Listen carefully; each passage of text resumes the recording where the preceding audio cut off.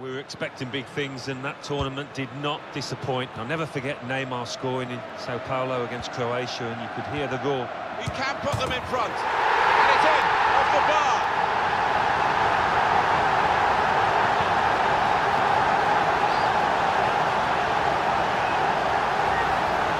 Well, and it goes via the underside of the bar. Always looks special. Well, maybe a little bit of luck there, but he's hit it hard and true. Through. Attacking well here.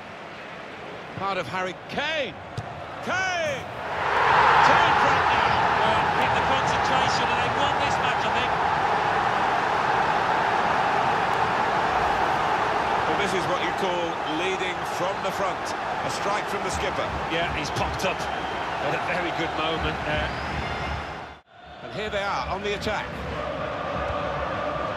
Sterling. Lallana. Alli! Struck the post. Could have come out, but in it went.